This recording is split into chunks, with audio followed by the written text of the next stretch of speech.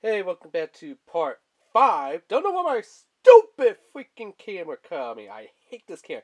It's the worst camera for doing YouTube videos on. My god, I love my Sony CyberShot 2. Wish that it didn't know, bro. I wish that Sony would come out with a CyberShot free camera. Come on, Sony, if you're listening, CyberShot free. Here we go. Here's your big chance. But anyway, as I was saying, back to this review. Yeah, you just kind of lock the arms in and tab them in there, which can be somewhat of a pain. But I think they kind of lock in a little bit easier on, you know, this, the Sky Patrol. Yeah, Airstrike Patrol. Airstrike, Sky Patrol, whatever, I don't care. And fine, you take the little head and you uh, turn it down. No. Okay, you take the head and you turn it up. And then you kind of get like the little peg coming out. So there are its two little vehicle modes. As you can see. And then for its big old combine mode. So combine mode we take right here our Storm Cloud, I believe it was. Yes, Storm Cloud. And all we do is we take the little hood, we lift the little cockpit up, bend it a bit, locked into place there. Reveal this little pad. There's a little pad hole on this side. And that's it. We are done with Storm Cloud.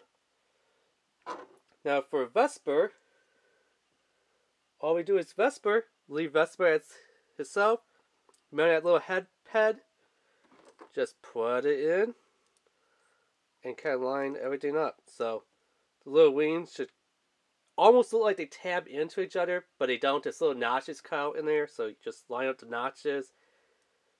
I would love if they could tab the wings in, but yeah. And then this is its combined um, Micromaster. I wanted to call it a Target Master, but Micromaster, or aka Armada Minicons, you know, weapon mode.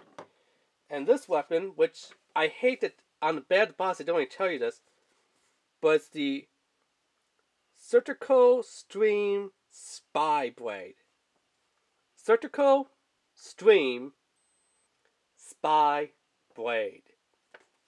Don't know where the heck they're coming up with these names.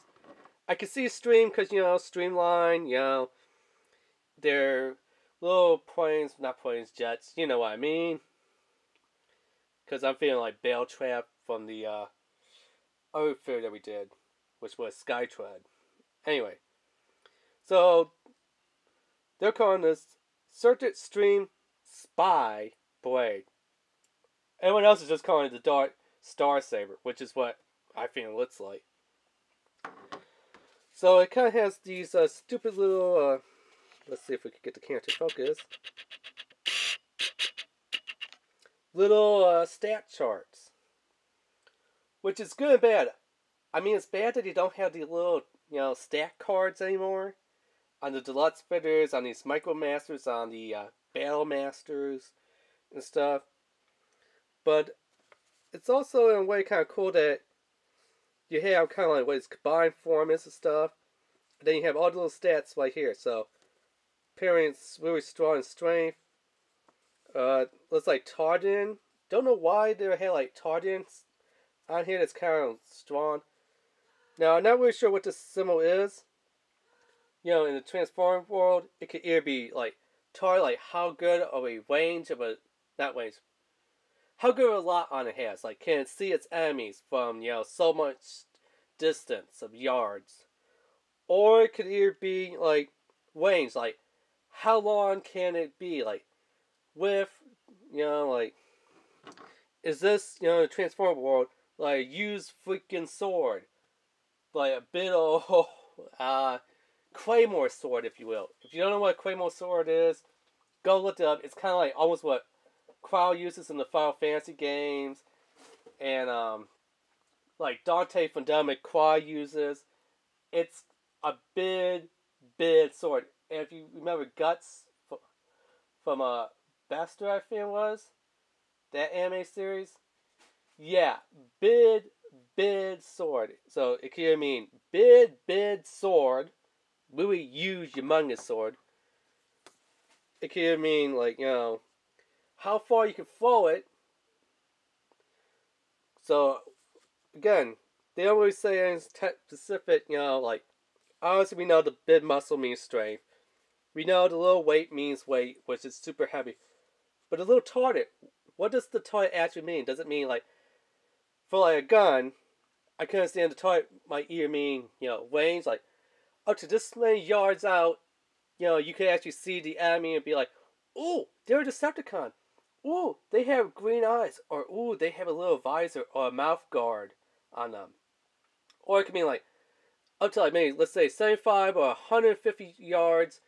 That's how far you can take the shot and take down an enemy. If they're like outside that range, like 175 yards, 150 yards, 160, nope, you can't hit them. 200 yards, uh uh-uh, uh, you're just wasting your energy on ammo.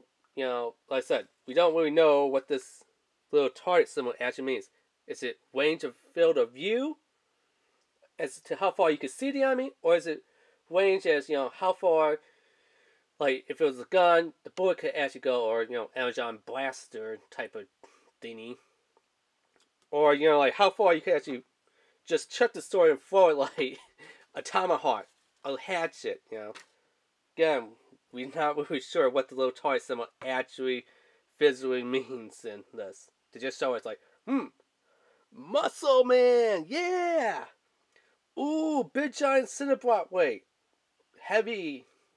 Yeah, so you can take this and just prop him in there, and there you go. Now it's holding the sword. Which, if you look on the back of the card, they actually show uh, Skytread holding the sword. So, yep. Skytread could hold the sword. It would be nice if, right here, that this could bend, this little pad, so that maybe, you know, you could have it pad into Actually, you know what? This does not pad into anything. It can only pad into a fully like five millimeter completely it pad hole, like in the hand. I tried putting, you know, into the shoulder or anywhere like that. Nope. It won't fit. Which is kind of stupid. Because, I mean, like these weapons, you know, you take them out of the hand and look, they fit on the arm. This one, nope. It can only be a handheld weapon, which is like, okay, why? That's kind of stupid, but that's how this Micromaster works. So let's just detach them from weaponized mode into vehicle mode. Wow. Like, that was how easy it was to get from weaponized mode into vehicle mode. So yeah, that's been the unboxing review of Transformers Siege, War for Cybertron Trilogy, Decepticon, Micromasters, Stormcloud, and Visper, Takara Tomy, Hasbro. Remember to hit that subscribe button, hit that like button, hit that notification bell, and leave a comment. Alright, thanks, bye.